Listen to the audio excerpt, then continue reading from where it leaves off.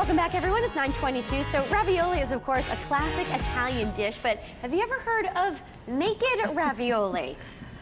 No, not No. really. well, It's it's not new. exactly what you think, right? Yeah, not exactly. I mean, it's so it is naked because it's missing the pasta, which Ah. is it would be a regular ravioli if it had the pasta on it, but this is actually just the filling of the pasta. Okay. And we add a little bit of flour, so it's a little bit more like a dumpling. I like that. A little Um, pillow. Pillow and light and fluffy. Perfect. Um, so it's also called gnudi, which is G N U D I. Like, Gnudi. is it it. related to gnocchi? It is related to gnocchi, Okay. but it does not have potato in it. Oh, That's a good all right. question. Okay, well, thank you. So yeah, um, Nice and I- connection you made, Raj. It has ricotta in it instead, and that's Okay. what kind of like makes it a little bit uh, fluffier. Let's get cooking. So yeah, let's do it. Okay, so um, we should mention your chef, down. Jamie Sydney, of Oh, yeah. course. Welcome. Nice to have you back the here in the kitchen. I've been here a couple times. so- Water's boiling. Water's That's good. boiling. We got that good. Okay, so first we're going to make our gnudi, our naked ravioli, and we've got ricotta cheese. You want to get a really good ricotta cheese, kind of a homemade one. Okay. Um, it's a little bit kind of chunkier. The stuff that you buy in the supermarket, um, like Oh, it is thicker. Polly-O. Yeah. Yeah, it's it's very it's just smooth and kind of mushy. Mhm. So um, this is great to use. And then what we're going to do is add Parmesan cheese. So I have a third of a cup of Parmesan cheese. Okay. We pop that in, um, and then this is a little bit of nutmeg. I just like to flavor it. It's fall. I feel like nutmeg Fall. is acceptable Totally. always. Totally. Nice state. And also, um, actually, the first time I had this was when I was in Florence. I was taking some cooking classes, and I went to um, the James Beard of Italy's house, and we had this beautiful lunch, and um, they serve spinach gnudi.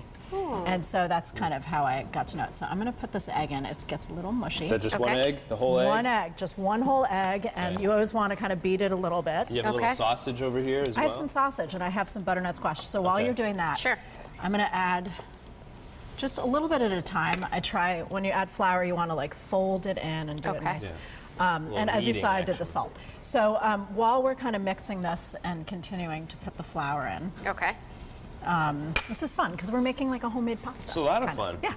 Teresa, so much fun. You know, I, I said you're like the Julia Childs. Oh yeah, and here I am 2016. making ravioli. You're doing it. You are doing it.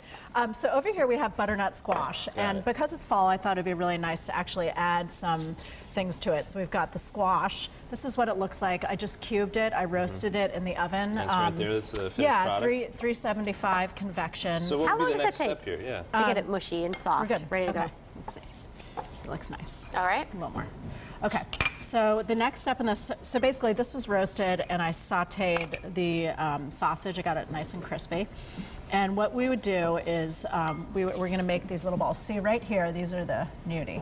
And what I did was I took a little bit. I'll demonstrate one. It's So is that where you get the naked, the, messy. the nudie naked thing? yeah, Is, that's yeah, the connection. exactly. Okay. So, So creative, so original. so yeah, it's just missing its clothes. So we're really not right? stuffing these with anything, right? No, this is the stuffing. And Got it. people put all sorts, as I said, spinach. And then you just want to do one nice roll. Done. Okay. And I just I pile it on flour so On it doesn't you know so, stick so too do you have much. a finished product we can take? taste I real sure quick? do. Do you okay. mind? So You hungry, Ryan? Well, the first thing. I mean, come on. Okay. Well, hold on. Because we only thing have we need- about 30 seconds. And Oh, we then, do? uh, Okay. Yeah. So what we're going to do is brown Let's see. butter with sage, and we're gonna fry it. And so this is going to be a little bit, Oh, that's going to smell fantastic. yes. So as that's going, where is our beautiful Is it finished in product? here? Right here. No, Oh, okay. In the oven. Okay, this is what we got. Ooh, Oh, that nice. is fabulous.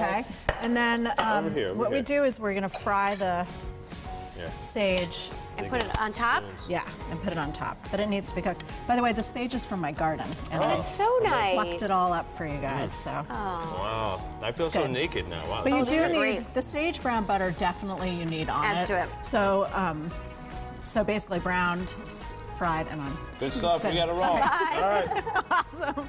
Good. Thanks.